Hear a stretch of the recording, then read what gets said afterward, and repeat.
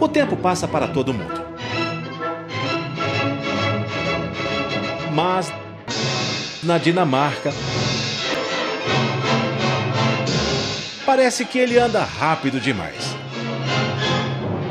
O país envelhece mais depressa do que os escandinavos gostariam. Com menos bebês nascendo a cada ano, o berço do Lego luta hoje para elevar o número de nascimentos.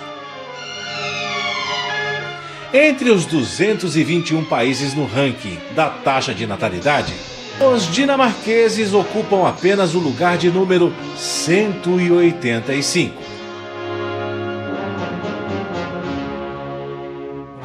O objetivo é reverter esse déficit.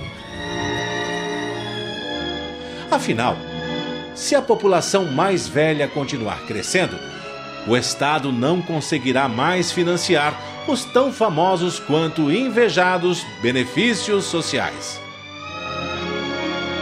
A situação levou funcionárias de uma creche a fazer aos pais uma proposta nem tanto indecente quanto tentadora: cuidar dos bebês de graça uma noite por semana para que os progenitores tenham tempo de fazer mais bebês.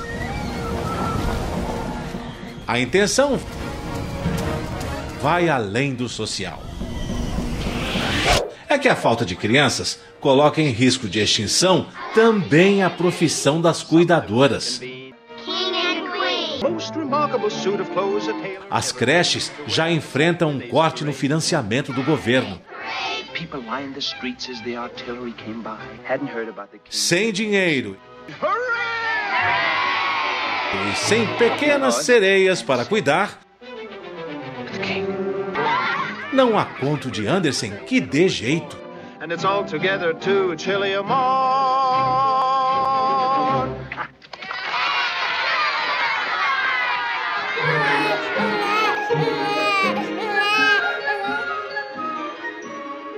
Já na vizinha, Suécia, mães começam a doar o útero para filhas que perderam o órgão em razão de doenças ou que nasceram sem ele.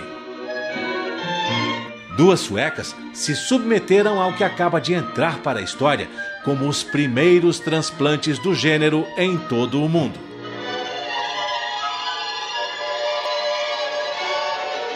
Mais de 10 cirurgiões participaram das cirurgias que transcorreram sem qualquer complicação. Quem atesta a eficácia desta intervenção inédita é a conceituadíssima Universidade de Gothenburg, que pesquisa o assunto há quase 15 anos.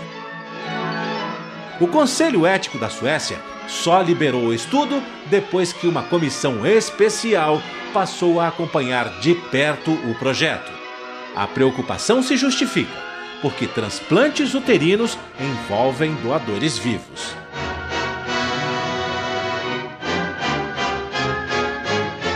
A escolha da mãe se dá por causa da vantagem teórica de um parente próximo ser um doador compatível. Nos próximos meses, oito candidatas, na faixa dos 30 anos ou ainda mais novas, deverão passar pelo bisturi. Mas os procedimentos ainda são experimentais.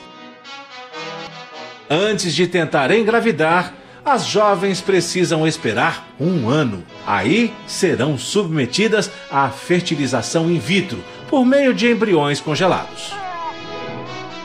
Ou seja, só saberemos se a técnica funciona no duro em 2014, quando alguma gravidez se confirmar.